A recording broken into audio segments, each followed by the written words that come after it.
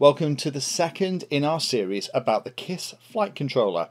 Now here it is actually plugged into the board. So what I've done in between the last two videos, it looks complicated but it's really not.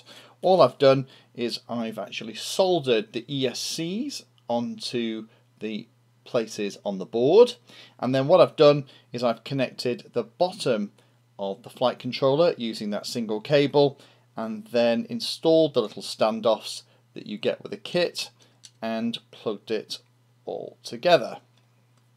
The only other thing that I have done, uh, which didn't come as part of the kit, is I have printed um, and designed a little 3D part. Now this is going to go onto a carbon fiber frame that I'm going to show you in a second and we're going to build that carbon fiber frame and put it all together and then we'll install the software and configure this and have it flying by the end of this video. But because there are a couple of contacts here that shouldn't touch the carbon fiber I've made this little shield and this just pops onto here and what it does it provides a little bit of separation between the bottom of the board and all the electronics but still provides lots of airflow. If you're interested in printing one of these you can get it from our Thingiverse site. So that is the flight controller and as you can see once it's all together it looks pretty fantastic. What you've got to remember is the arrow that's in the middle of the board is pointing towards the front of the craft. There's ESC1, ESC2, etc. So putting this onto a craft is going to be a piece of cake. I do like the way this thing looks, it's very purposeful. We've looked at a couple of other setups where the ESCs and everything has all been integrated. Uh, this is a slightly different way where it's laid out differently. Now because this board is so long, it's 100 millimeters by 45 millimeters, it won't fit in a lot of normal frames. So I've had to do some searching around to find a frame that would work. And I think I've finally got one. The frame we're going to use is actually this thing here. It's a Spedix 250 frame and it's slightly different from all the other ones that we've used on the channel so far in that all the supports are handled in the actual corners. So let me show you how this thing fits. So this one I actually ordered from eBay from a seller in the Far East. It's arrived the last couple of days so finally we can crack on with the series. So this flight controller board is, this is the bottom plate, is going to fit there. As you can see, we're going to just put a couple of uh, bolts on the screws as they pop through. So there's the flight controller. As you can see, it is a very nice fit. And then the arms, um, and the way these arms work on this model is the motor goes on the top, and then you have these big fluorescent feet that go over the end bits, and then you have little carbon fibre covers that go over here. So what it means is that we can mount the motors and the, the motors we'll, we'll, use just so you can keep track of what we're up to. We're actually using some of the new DYS motors. These are 2205 2300 kV special edition race motors. So we're going to use these guys. And the way it works is we have to put the wires through the little holes in the arms. There we go, a little fiddly, but it's in. And the motor will fit on the top of the arm like that. And then the actual cables can run all the way through the inside of the arm and pop out at the end. And then that will allow us to wire it all up to the KISS flight controller. And the way it works is these arms when they're on here is just perfect size to fit everything on. And these arms can fit a 6 inch prop. So we're going to have more than enough power for a craft of this size. There is also a little mount that goes at the front for a camera, so that can go on there, and even with the other bits and pieces on here, there's enough room for us to mount the camera behind it. So that's what we're going to do. So let me stop the video, and what I'm going to do before we plug this in and do anything else, I'm going to do all the wiring and set the frame up because the configuration is really simple. What I'm going to do is I'm going to solder the three wires from each of the motors to these connections, not worrying about whether it's going the right way or not, because on each speed controller, there you can just about make it out, it's called jumper one, it's those two little pads there, that is actually a solderable connection. If you bridge those two with solder, then it will reverse the direction of the motor really, really smart idea. means that there's not a lot messing about. I don't have to unsolder anything. So I can just put this frame together and then plug it into the computer and start to configure everything. So let me stop the video, put this frame together, and then when we come back, we'll be ready to plug it in, download the software, plug the flight controller into it, and start to configure everything. Occasionally you do a build and it is just fun to put together and this has been one of those. So let me just show you what I've done. Just take the top off. Um, this is just the top of the frame with the anti-vibration mount. I've also mounted our X4R underneath. Uh, 3D printed a couple of little mounts for some aerial supports. So that's going to be the top. The bit I really want to show you is how fantastic the main bits look. So the only things I've done here, I have fitted the arms on, put the motors on the arms, and the really nice thing with this frame is that everything is covered. So the motors from the arms come in here, had to solder some little extensions, um, extension wires, and then solder each of the wires as they come out and go into the speed controllers. Isn't that neat? So now that's all together. The only other things that I've done is connected a power cable. So the two big pads that were on the bottom are now connected to an XT60 connector. So we're ready for plugging a battery in. There is also, hopefully the camera's kind of picking it up, um, a cable tie around that. That's better.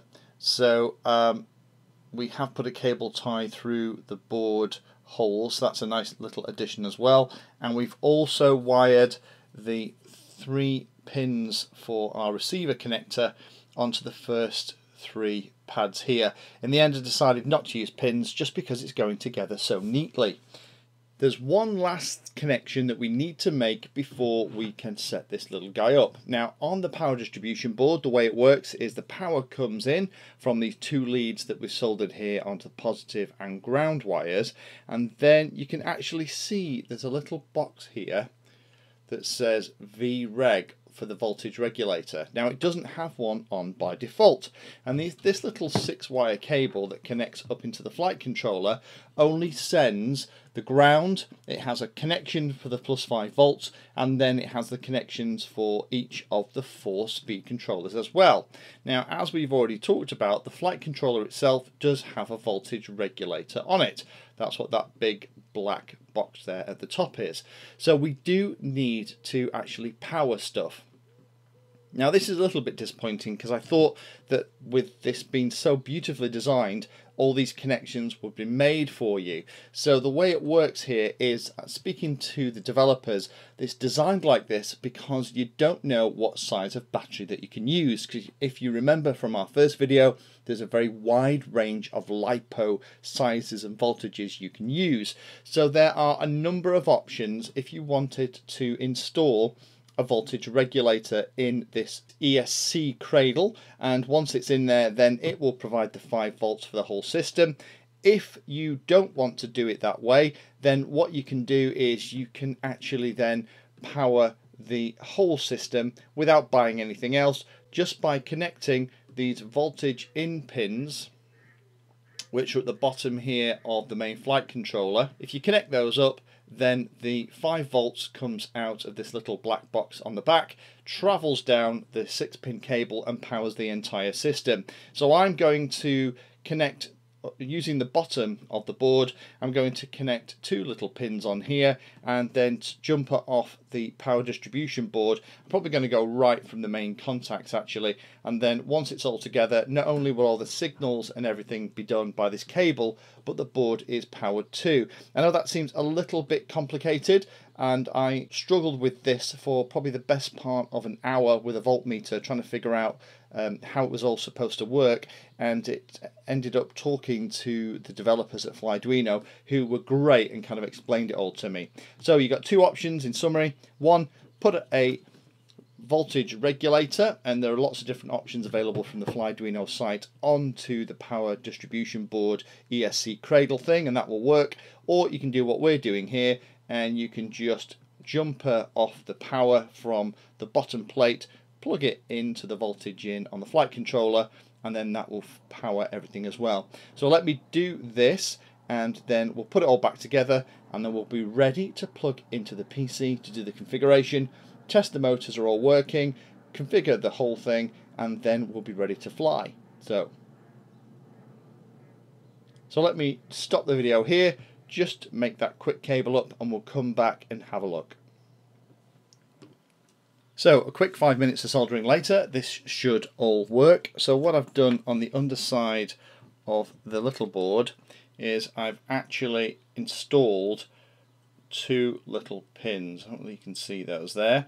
Uh, two little right angle pins coming out the bottom of the board. They're soldered into that V-in connector on the top. That should give me a way then to connect the power into the main board.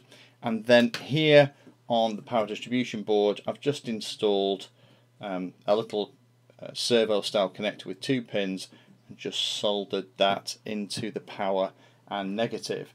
And now to connect the power up, it's just a case of slipping those two pins into the connector, making sure the polarity is okay.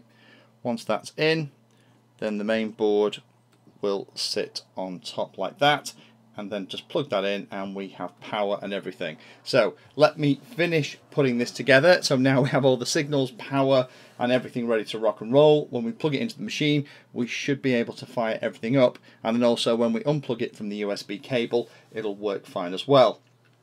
This definitely isn't a project for those of you that are worried about soldering. There is quite a bit of soldering to be done, but hopefully you can appreciate that it's a very neat solution once you've got it there. So finally, we can go onto the netbook, install the software in Chrome Store and connect it up. And it's going to be a quick and easy job. Just configure everything. The only thing we are going to have to check is make sure each of the motors is turning in the right direction. If it one of them isn't then we can just solder that little jumper and it'll work fine. So netbook time just a quick reminder how you get hold of the KISS software. What you need to do is go onto the Chrome Web Store and then as you search for KISS, then when you hit enter, you'll find a couple of apps. This is the one you want. You want KISS FC. You need to install that onto your computer. Now we have already got that running here. So here it is ready to go and we haven't got the machine plugged in yet but the nice thing is about this is once you plug the USB cable in it'll not only power the flight controller it'll also power the receiver too. So we'll be able to check the radio. Now I've set the radio up already and we can test it when we configure it all. We haven't got the battery connected and we haven't got props attached because we need to make sure that everything's configured, that we can arm the board, that the motors all start and then that the motors are running in the right direction and as we just said, if they're not running in the right direction, a quick little blob of solder on one of those points will reverse the direction for us. So let's plug it in.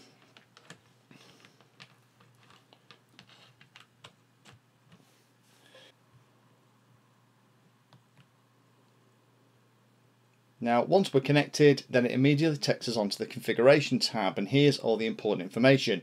This is where we can set the type of frame that we have. So we have tricopter, quad, and all these others. Make a note of which way the motors are actually turning. Uh, in the actual frame itself, it's very hard to wire these up the wrong way round because of the way the ESC is laid out. This power distribution board with the ESCs in mean that the motors are in the right position, but this one has to go clockwise, this one has to go clockwise too, and the other two, two and four, have to go on anti-clockwise. We'll need to check that. We need to tell it what receiver type we've got. We've got lots of different PPM types. With PPM you can actually select the order of the channels, the main flight control channels that you want. We obviously have FrSky S-Bus and we'll have a look at that in a second. So I've set my Taranis up. We haven't changed anything of these general settings. We're leaving everything as absolutely standard. The only thing I have done is say when my auxiliary 1 channel or the fifth channel coming in is set uh, high, then it's auto level mode. When auxiliary 2 set high, sound the buzzer. Now we'll install the buzzer in a later video in the series. Now if I just send this into a smaller window, that's pretty much it. You can just see we kind of have a save settings here at the bottom right hand corner. Now in the, the data output tab, this is where we can see what's going on. At the moment, we can see that uh, the battery voltage from the ESC and we can also see the inputs from our radio. So if I move my throttle, there's the throttle moving up and down. So I know that's on the right channel. Then uh, aileron, roll, I know that's on the right channel. Pitch is on the right channel and then yaw is as well. So everything should kind of follow. So as your throttle goes up, the value should increase. As your rudder or yaw control goes to the left, the value should fall. It goes to the right, the value should increase. And the elevator and aileron, the aileron as you go left should fall or roll should fall and then it goes to the right it should increase and the elevator is the last one whereas it goes to the top of the radio the value increases, goes to the bottom of the radio, it decreases. So that is all perfect. Make sure that you use your sub trims in the radio so that everything settles as close to 1500 as you possibly can.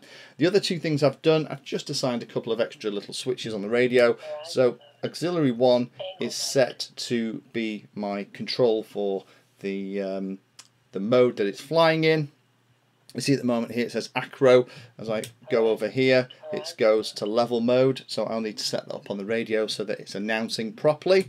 And the other one then is auxiliary 2, which is the one that's going to sound the alarm or the buzzer when we do that in the next video.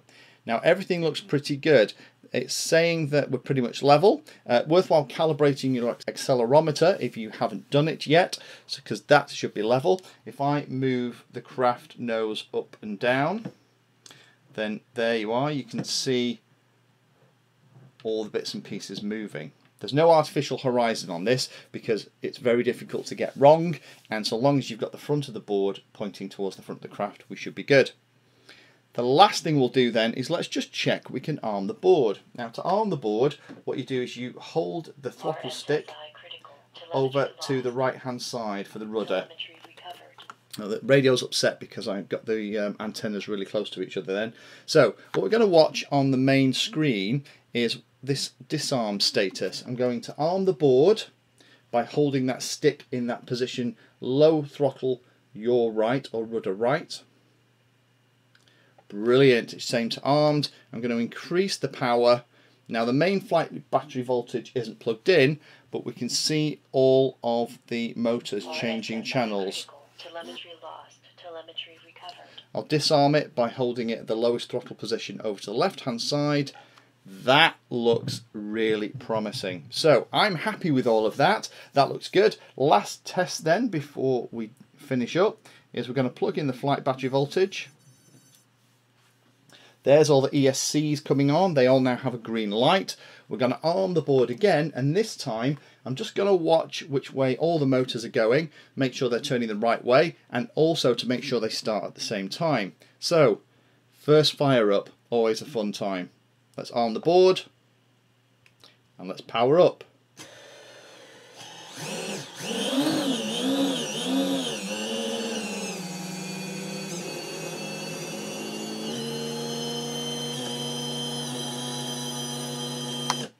They are all moving in the right direction. Fantastic. Okay, so the last thing then is for us to install the props on here. Let's disconnect on the application, close that down.